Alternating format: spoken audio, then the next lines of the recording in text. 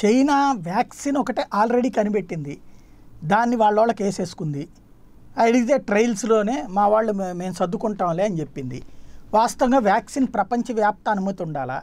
ఎందుకు అనుమతి తీసుకోవట్లేదంటే వాళ్ళ దేశంలో ఆల్రెడీ వేస్తుంది. అనుమతి తీసుకుంటే అది ఎప్పుడు తయారైంది? ఇది ఏమన్నా ఐడెంటిఫై అవుతుందేమో? అందులో ఫస్ట్ వాళ్ళే కనిపెట్టారంటే వాళ్ళే రోగాన్ని సృష్టించారు కాబట్టి దాని మందు కూడా అప్పుడే కనిపెట్టారు అన్నటువంటి విమర్శ వస్తుంది అన్న ఉద్దేశంతో తెలివిగా వేస్తున్నటువంటి ఎత్తుగడ కొత్తగా ఈ మధ్యకాలంలో ఏంటంటే ఏ దేశంలో వ్యాక్సిన్ తయారు చేసినా అది అన్ని దేశాలకి పంచాలి. సమంగా అంటే అక్కడున్న జనాభా ప్రాతిపదికన అక్కడ అవసరాల రీత్యా అన్నటువంటిది ఒక గ్రూప్ ఏర్పాటు చేసుకున్నారు. అది కోవాక్స్ అనేటువంటి గ్రూప్.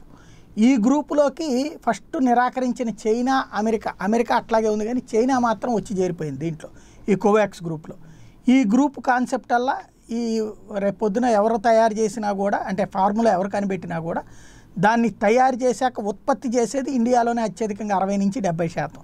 ఈ ఉత్పత్తి చేసిన దాన్ని అన్ని దేశాలకి పంచాలి అక్కడ ఉన్న అవసరాల రీత్యా షేరింగ్ చేయాలి పర్సంటేజ్.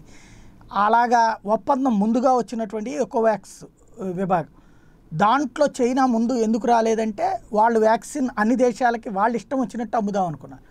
కానీ అట్లా అమ్మితే తీసుకునేందుకు ఏ దేశము రావట్లేదు. కాబట్టి ఈ కోవాక్స్లో దూరిపోయి నిదానంగా వీళ్ళందరినీ కాకబట్టి అమ్మడానికి ఒక ప్రయత్నం ప్రారంభించింది. ఇది ఏ మేరకు ఫలిస్తుందో చూద్దాం.